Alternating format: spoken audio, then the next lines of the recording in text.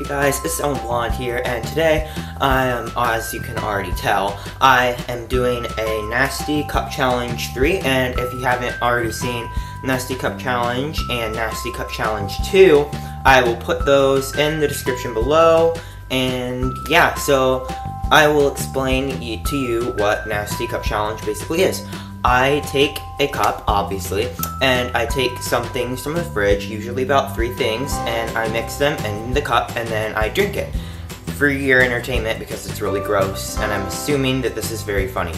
Okay, so today for Nasty Cup Challenge, I have basically taken soy sauce, almond milk, and Reddit whip and this is gonna be really disgusting and it looks really chunky. I mean, maybe you can't see, but there's like all these chunks in it and it's really nasty and I'm afraid, but I'm gonna, I'm gonna drink it anyways. Okay, let's go.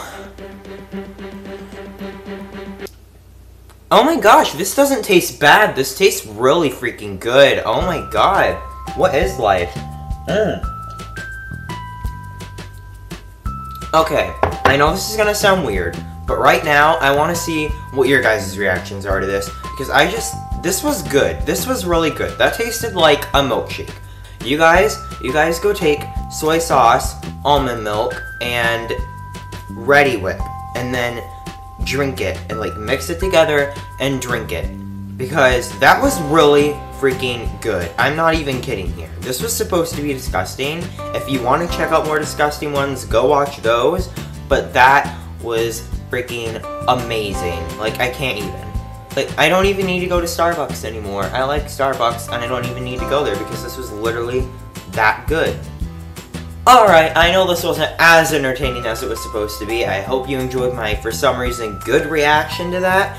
I will see you in the next video. Like, subscribe, I love you, eat a cupcake, and bye!